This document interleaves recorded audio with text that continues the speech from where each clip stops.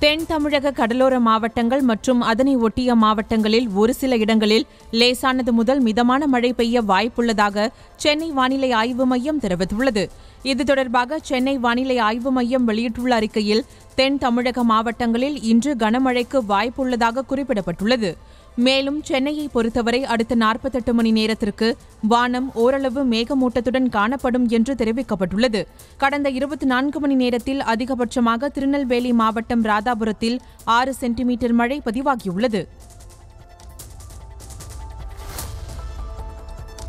ஓசூர் பகுதியில் புதிய விமான நிலையத்தை அமைக்க முயற்சி மேற்கொண்டு வருவதாக தமிழ்நாடு அரசின் தொழில்துறை கொள்கை விளக்க குறிப்பில் தெரிவிக்கப்பட்டுள்ளது. தமிழ்நாட்டின் வடமேற்கு பகுதியில் தொழில்துறை வளர்ச்சி சுற்றுலா உள்ளிட்டவற்றை கருத்தில் கொண்டு இந்த முயற்சி மேற்கொள்ளப்படுகிறது. அங்கு விமான நிலையம் அமைக்க சாத்தியக்கூறு உள்ள இடத்தை கண்டறியும் பணியை மேற்கொள்ள டிட்கோ நிறுவனத்திற்கு அரசு உத்தரவிட்டுள்ளதாகவும் தெரிவிக்கப்பட்டுள்ளது. மயிலாடுதுறையில் ஆளுநர் ஆர் என் ரவியின் பாதுகாப்பில் முற்றிலும் குளறுபடி ஏற்பட்டிருப்பதாக தமிழக பாஜக தலைவர் அண்ணாமலை குற்றம் சாட்டியிருக்கிறார். இது தொடர்பாக அவர் வெளியிட்டிருக்கும் ட்விட்டர் பதிவில் மயிலாடுதுறைக்கு சென்ற ஆளுநர் ஆர் என் ரவியின் கான்வாய் வாகனத்தின் மீது கற்கள் கொடிகள் வீசப்பட்டதாக அதில் குறிப்பிட்டிருக்கிறார். மேலும் கட்சியின் சித்தாந்தம் சார்ந்து ஆளுநரை முதலமைச்சர் வெறுப்பதாக ட்விட்டரில் பதிவிட்டிருக்கும் அண்ணாமலை முதலமைச்சர் பதவியில் இருந்து மு ஸ்டாலின் விலக வேண்டிய நேரம் வந்துவிட்டதாக அந்த பதிவில் குறிப்பிட்டிருக்கிறார். கிழக்கு கடற்கரை சாலையை ஆறு வழிச்சாலையாக மாற்றும் பணிகள் தேசிய நெடுஞ்சாலைத்துறை மூலமாக நடைபெற்று வருவதாக சட்டப்பேரவையில் அமைச்சர் ஏவவேலு தெரிவித்துள்ளார்.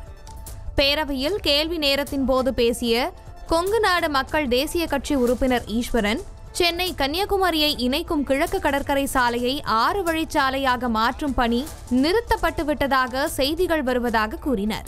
அதற்கு பதிலளித்து பேசிய அமைச்சர் ஏவவேலு இது தொடர்பான பத்திரிகை செய்தி தவறானது என தெரிவித்தார். முதலமைச்சரின் அறிவுறுத்தலின்படி இதற்கான தடையின்மை சான்றிதழ் வழங்கப்பட்டு ஆறு வழி சாலையாக மாற்றும் பணி நடைபெற்று வருவதாக கூறினார். சென்னை தலைமைச் செயலக காலனி காவல் நிலையத்தில் விசாரணைக்கு அழைத்து செல்லப்பட்ட விக்னேஷ் என்பவர் உயிரிழந்த சம்பவம் தொடர்பாக மேஜிஸ்ட்ரேட் விசாரணைக்கு உத்தரவிடப்பட்டிருக்கிறது. சென்னை கெல்லி சந்திப்பில் நேற்று இரவு வாகன சோதனையின் போது ஆட்டோவில் சந்தேகத்திற்கிடமாக வந்த இரண்டு இளைஞர்களை கைது செய்த போலீசார் அவர்களிடம் இருந்து கஞ்சா மற்றும் பட்டாக்கத்தி ஆகியவற்றை பறிமுதல் செய்தனர். போலீசார் விசாரணையில் ஆட்டோவில் வந்தது திருவள்ளிக்கேணியைச் சேர்ந்த ரமேஷ் மற்றும் பட்டினப்பாக்கத்தைச் சேர்ந்த விக்னேஷ் என்பதும் தெரிய வந்திருக்கிறது. இருவர் மீதும் கொலை கொள்ளை முயற்சி உள்ளிட்ட வழக்குகள் நிலுவையில் உள்ளதும் அம்பலமானது. பின்னர் அவர்களை கைது செய்து தலைமைச் செயலக காலனி காவல் நிலையத்திற்கு அழைத்துச் சென்றனர். அங்கு விசாரணையின் போது விக்னேஷ் என்பவர் வலிப்பு நோய் ஏற்பட்டு உயிரிழந்ததாக கூறப்படுகிறது. இதற்கிடையே விக்னேஷ் உயிரிழந்த சம்பவம் தொடர்பாக மேஜிஸ்ட்ரேட் விசாரணை விசாரணைக்கு உத்தரவிடப்பட்டிருக்கிறது.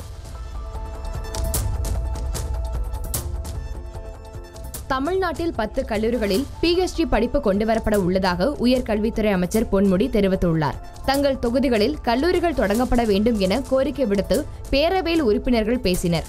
அதற்கு பதிலளித்த உயர்கல்வித்துறை அமைச்சர் பொன்முடி கல்வியும் சுகாதாரமும் தனது இரு கண்கள் என முதலமைச்சர் கூறியுள்ளதாக குறிப்பிட்டார். திமுக ஆட்சி பொறுப்பேற்றவுடன் முப்பத்தி ஒரு புதிய அரசு கல்லூரிகள் தொடங்கப்பட்டு உள்ளதாக அமைச்சர் கூறினார். மேலும் தமிழ்நாட்டில் உள்ள ஐம்பத்தி ஐந்து அரசு கல்லூரிகளில் உட்கட்டமைப்பு வசதிகள் செய்ய நிதி ஒதுக்கீடு செய்யப்பட்டுள்ளது என்றும் பல்வேறு கல்லூரிகளில் புதிய பாடப்பிரிவுகள் கொண்டுவரப்பட உள்ளதாகவும் அமைச்சர் பேசினார். இந்த ஆண்டு பல கல்லூரிகளில் புதிய பாடப்பிரிவுகள் தொடங்கப்படவிருக்கின்றன. குறிப்பாக பிஹெச்டி என்ற அமைப்பும் அமைக்கப்படும் என்று பத்து கல்லூரிகளிலே உருவாக்குவதற்கு தமிழக முதலமைச்சர் அவர்கள் அனுமதி அளித்திருக்கிறார்கள். அதே மாதிரி PG courses post graduate courses under கிராஜுவேட்டில் நீங்கள் கேட்குற அந்த பாட்னி கோர்சஸ் அங்கன்னா தாவர பகுதி இருக்கிறதுனால கேட்டிருக்கீங்க. நிச்சயமாக அவைகளை பற்றியெல்லாம் பரிசீலிக்கப்படும். எப்படி நாள் முழுக்க நியூஸ் தமிழோட சோஷியல் மீடியா பேஜஸ்ல கம்ப்ளீட்டா கனெக்டடா இருக்கீங்களோ அது போலவே நியூஸ் தமிழ் தொலைக்காட்சியையும் பாருங்க. உங்கள் அபிமான நியூஸ் தமிழ் தொலைக்காட்சியை தமிழ்நாடு முழுக்க இருக்க கேபிள் டிவி நெட்ஒர்க்ஸ்ல பார்க்க ஸ்கிரீன்ல வர சேனல் நம்பர்ஸை நோட் பண்ணிக்கோங்க. உங்களின் குரலாக உங்கள் சார்பாக உலகின் அனைத்து திசைகளிலிருந்தும் நடுநிலையான செய்திகளை அறிந்து கொள்ள ஸ்டேட்யூன் அண்ட் கீப் வாட்சிங் நியூஸ் தமிழ்